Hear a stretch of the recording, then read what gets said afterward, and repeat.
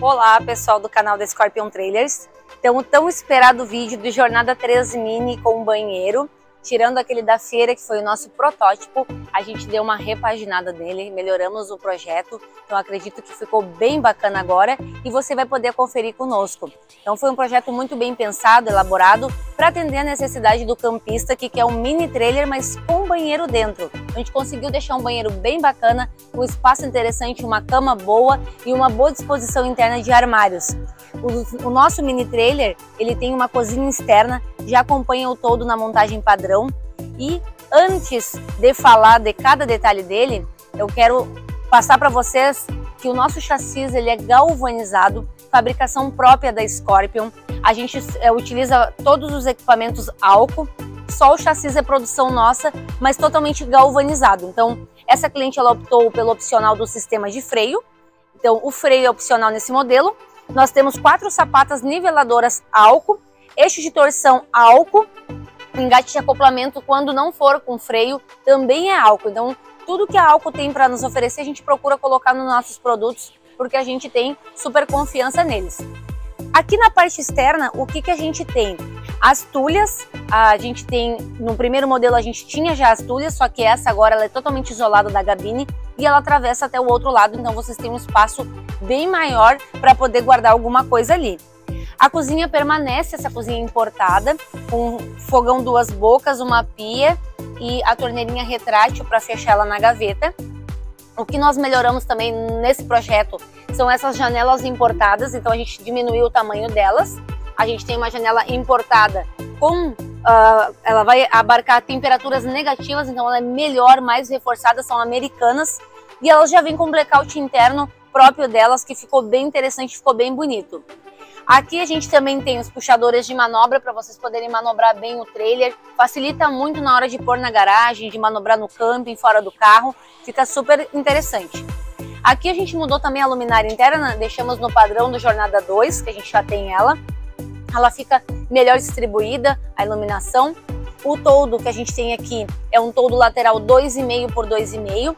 Tem a opção do fechamento, essa cliente optou em ter o fechamento e o piso. Tá guardadinho, a gente vai deixar a exclusividade para ela poder abrir e usar a primeira vez. Então veja que a gente tem uma cobertura bem bacana. Ela pega a parte da porta, mesmo com fechamento, ela pega toda a parte da cozinha, inclusive a tulha, e a gente tem dois metros e meio de abertura para frente, então espaço super amplo. Então ó, eu caminhando aqui, vocês podem ver que a gente tem esse espaço super interessante.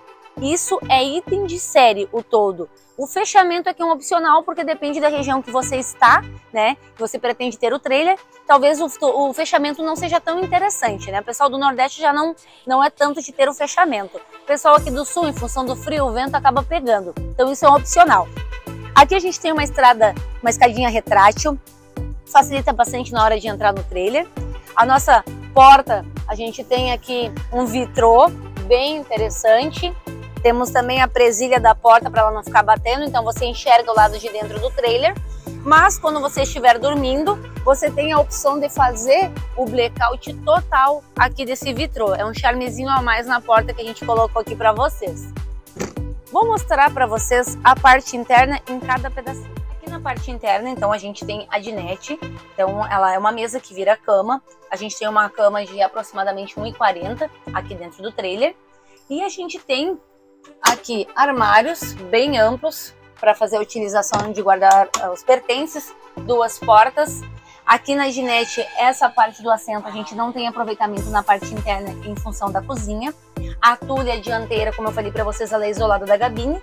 Mas aqui, pessoal, a gente tem um compartimento, vou tirar a mesa para vocês darem uma olhada. A gente tem um compartimento para guardar pertences aqui embaixo deste assento.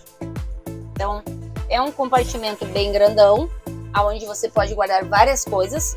Inclusive, a gente tem um pedacinho para montar a dinette que eu vou mostrar para vocês de uma forma bem rápida e fácil para vocês entenderem como é que funciona a cama. Então vou botar os colchonetes aqui.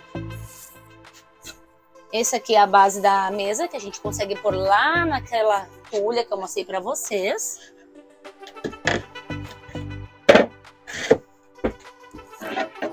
A gente vai usar a própria mesa para fazer o fechamento aqui da dinete. E aqui a gente vai pôr os colchonetes de encosto para fechar.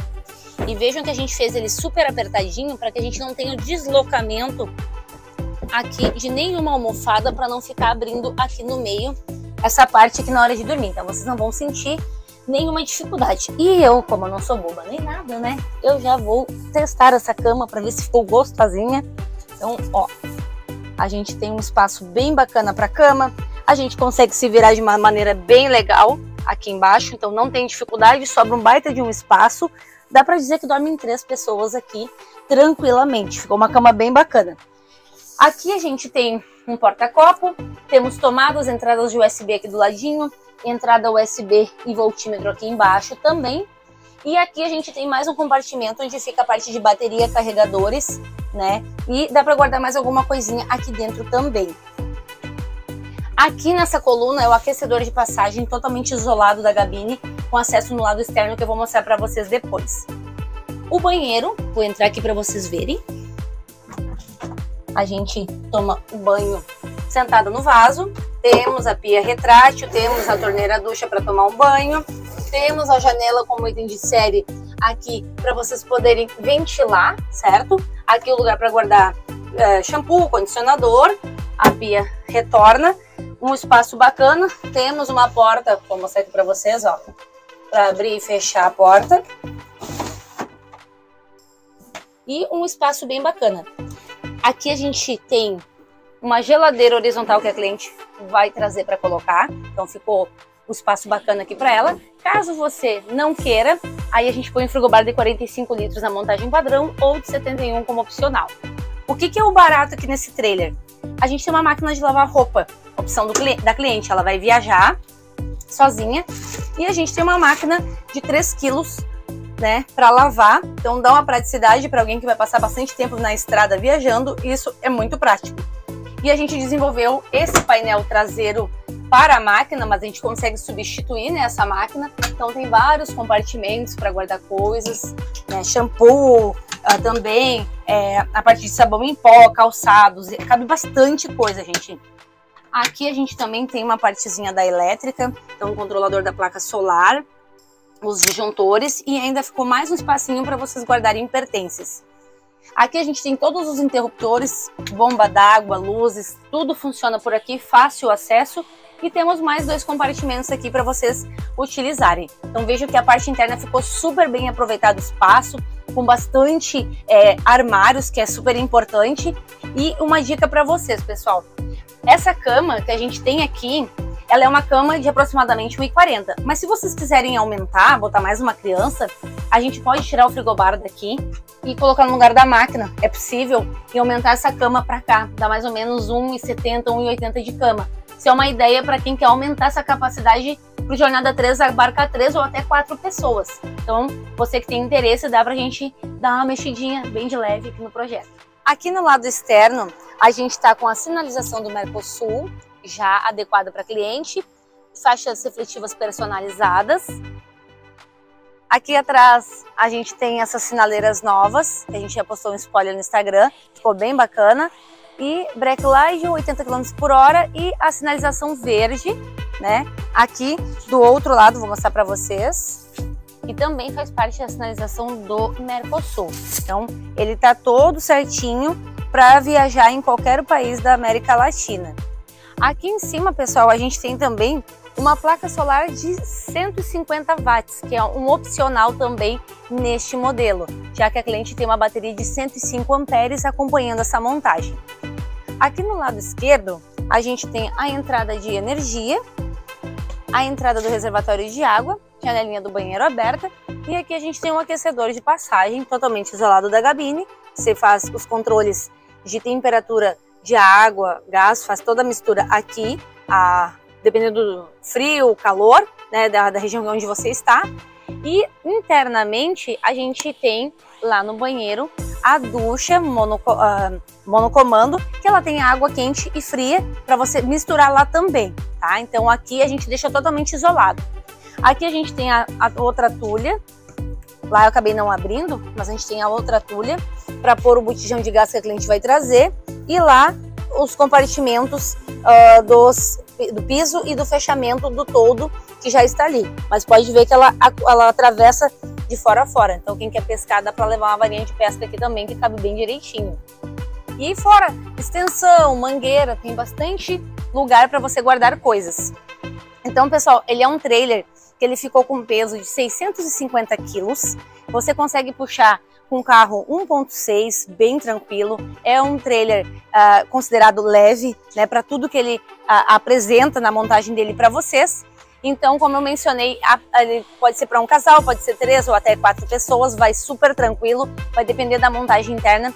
A gente tem mais opcionais para oferecer nesse modelo, mas esse com certeza vai ser o nosso queridinho agora, porque a gente tem muitos clientes que tinham medo de ter o mini trailer em razão do banheiro e a gente conseguiu suprir toda essa necessidade para vocês nesse modelo. Então, é um trailer leve, puxa com carro leve também, não precisa ser uma caminhonete. Ficou com uma altura bacana. Ele, com o climatizador que acompanha essa montagem, ele fica em torno de 2,17. E se você optar em não ter o climatizador, ter o ar-condicionado, que é um opcional também, ou pôr uma clarabóia, vai ficar em torno de 2,10. Vai depender do que você quer pôr de opcional nesse modelo. Então, embaixo do vídeo, a gente tem um link para você entrar em contato com a equipe de vendas, fazer um orçamento sem compromisso, pedir fotos desse modelo e dos outros que estão saindo logo depois desse. Qualquer dúvida, chama a gente, a gente conversa, vê o que, que vocês querem montar dentro, mas não perca a oportunidade do nosso parcelamento sem juros em até seis vezes ou do nosso financiamento em até 36 vezes para esse ou qualquer outro modelo da Scorpio. Dá um like, dá um joinha, se inscreve, ativa o sininho aí para receber as notificações das próximas montagens e acompanhe a gente nas redes sociais.